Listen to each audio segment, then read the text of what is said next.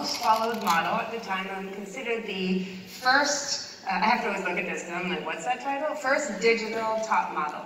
Uh, there was no other model using the platforms. Um, so I was the most followed Twitter model, Google Plus, Tumblr, all sorts of stuff. And then I started using uh, um, platforms in China, Sina Weibo. Uh, and because I was this girl out of nowhere, coming into a different land, I had 7 million followers just there in China. Um, slide, there we go. I don't know why we want that one, but we'll keep going.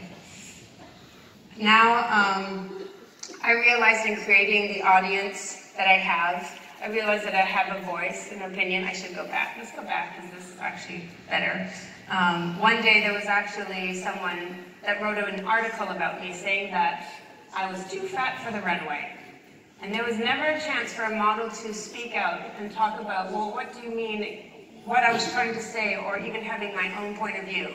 But now there was. Here's this model who has a blog that she can inform the world what, in fact, was meant by that interview.